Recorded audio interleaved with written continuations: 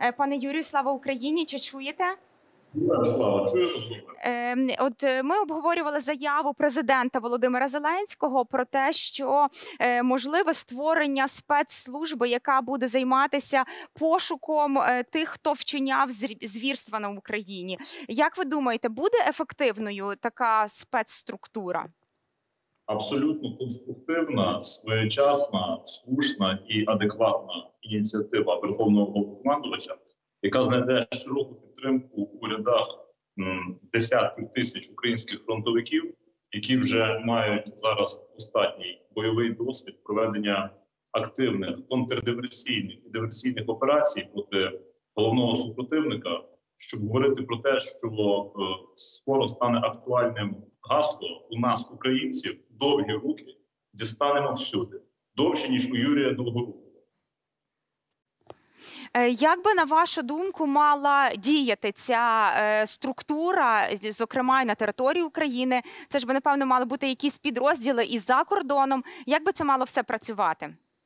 Е, Дуже своєчасне питання. Я хочу сказати, що діяльність подібних структур має будуватися на негласній основі, поєднання гласних і негласних методів е, на основі конспірації, а також абсолютної утаємниченості від е, інших силових органів, які, на жаль, у нас, як і багато складових державного апарату, є просочені агентурою ворога.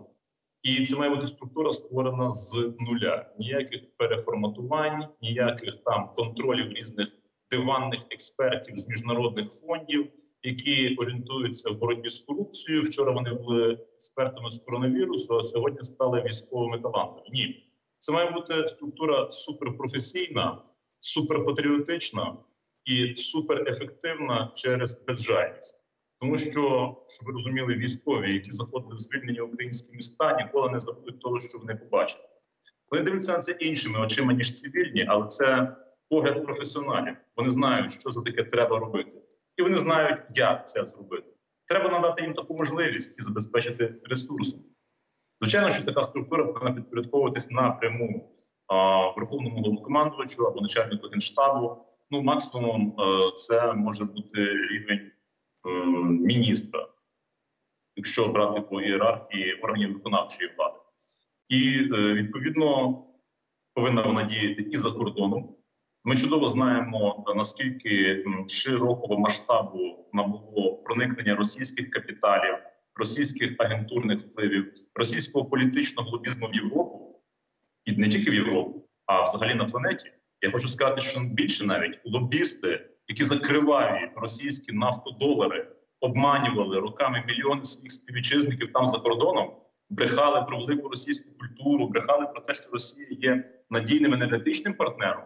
Ті, хто блокував вступ України в НАТО спеціально, я б на їхньому місці теж дуже сильно замислився над своєю поведінкою, і недаремно Верховний Головнокомандувач зробив на це акцент, відвідуючи звільнене місто Буча, що руки у багатьох західних політиків в крові, і відтепер це кров українців. А за це, власне кажучи, також може бути і відповідальність не тільки в метафізичному світі, але й в фізичному. Е, Скажіть, будь ласка, на вашу думку, а можливо стягнути з Московії репарації?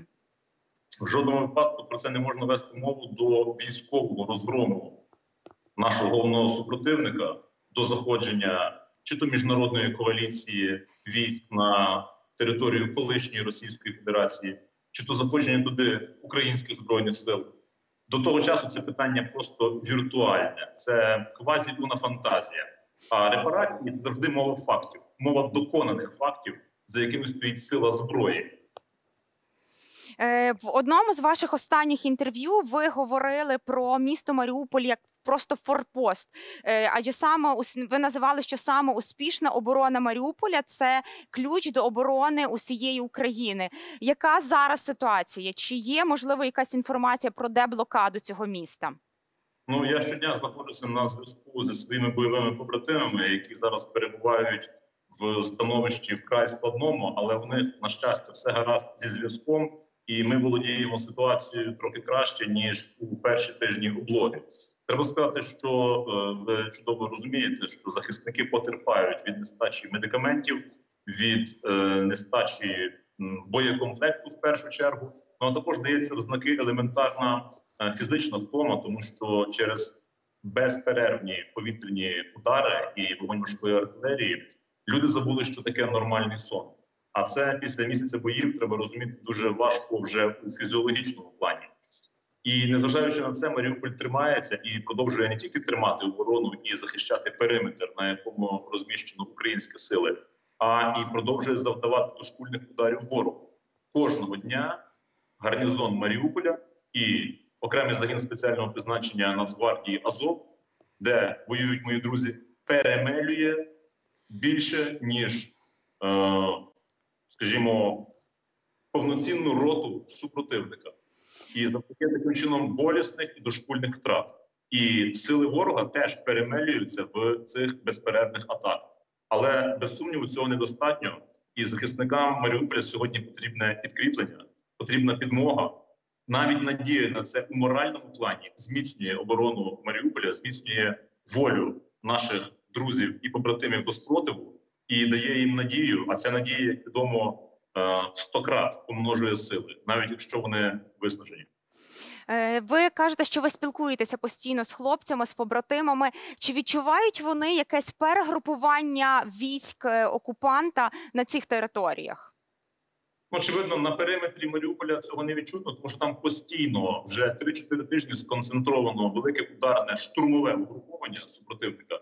Безпосередньо вони очевидно розділені за різними секторами міста і намагаються прогризати оборону з тим, щоб розсікти наше угруповання на декілька ізольованих котлів і почергово їх е, знищувати. Це їм не вдавалося довший час, але треба сказати, що перекидання нових сил на цей напрямок звичайно ж е, примножить сили супротивника і зробить становище наших захисників важчим. Поки що цього не відчутно, тому що як вони розповідають, там інтенсивність бомбових ударів, інтенсивність ракетного вогню і артилерії практично є незмінною. Ось уже майже місяць часу е, це все як фізична константа, із якою е, люди вже звиклися як із силою земного тяжіння. Десь так це виглядає для них зараз.